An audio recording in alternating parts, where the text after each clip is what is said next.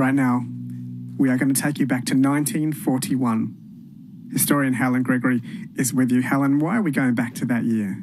Well, Ashwin, we've done a number of anniversaries this year, and this is another one, but it doesn't, the figures don't end neatly in O. This is an 81st anniversary. Oh, okay. All right. So it's important. That's why we need historians to celebrate things that we might have missed. And I had never heard of the Pensacola, but it's always a lovely word. I've, it feels like it's in the background of my memory. You hear the word Pensacola. I didn't know of its, of its military significance, though. So can you tell us what that is?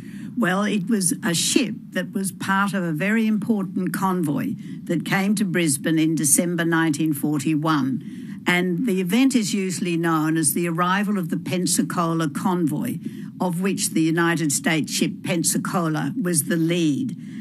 And in fact, the Pensacola had already been quite busy around the Pacific even before she arrived in Brisbane on the 22nd of December 1941. Everything else. And but on the early morning of the 22nd of December, the Brisbane Harbour pilot, who was a civilian, went aboard Pensacola to escort her and the, to Brisbane. The rest of the convoy didn't immediately follow, and so she board she um, moored at Hamilton Wharf just after 12:30 p.m. on the 22nd of December, and the anniversary we're marking will be commemorated by the unveiling of a plaque at Brett's Wharf to commemorate this arrival.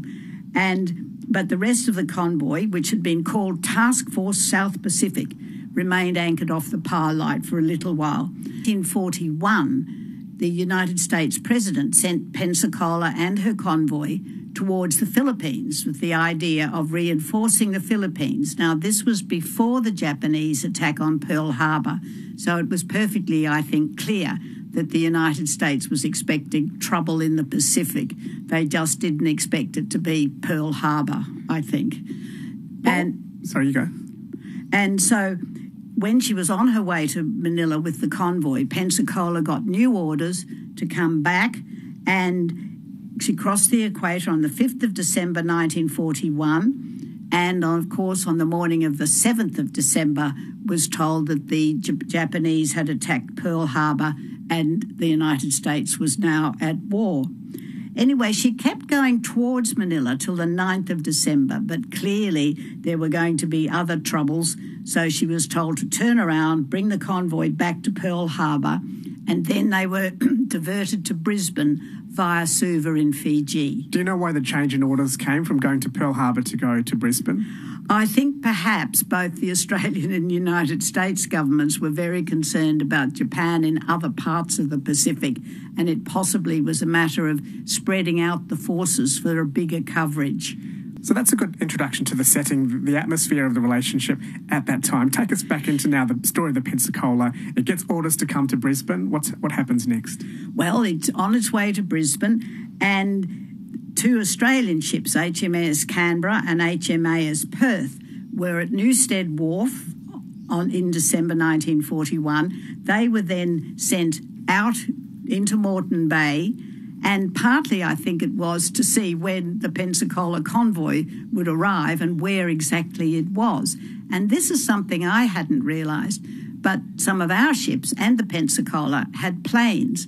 So planes went up to see where everybody else was in early December 1941. On, on that point, I wonder how in, interoperable our ships were with this. Could they communicate with each other? Did they use the same frequency on radio? It must have been hard to get these two um, unfamiliar navies to suddenly connect with each other. Well, that's one of the reasons I wonder if that's the reason why Canberra and Perth was sent out to to look for Pensacola and her convoy. Mm. I'm not sure about that. A naval, a naval person yeah. probably know about the state of communications, but I don't. It's a very expensive alternative to a phone call, but may have been necessary back then. That's right. And of course, there were limited navigation aids. For instance, the um, Cape Moreton Lighthouse wasn't brightly flashing. It was on a setting called Loom, which was a diffuse light, so it couldn't easily be seen from miles and miles and miles. So I would imagine the navigation was quite a yes. quite a thing for these big ships. And um, HMAS Moresby was a, appointed to escort Pensacola and it launched more planes to check for en- enemy submarines because that was always a worry that there could be submarines. So everybody was checking for everything else. And but on the early morning of the 22nd of December, the Brisbane Harbour pilot, who was a civilian, went aboard Pensacola to escort her and to Brisbane. The rest of the convoy didn't immediately follow, and so she board she um, moored at Hamilton Wharf just after 12:30 p.m. on the 22nd of December, and the anniversary we're marking will be commemorated by the unveiling of a plaque at Brett's Wharf to commemorate this arrival. And but the rest of the convoy, which had been called Task Force South Pacific, remained anchored off the Par Light for a little while.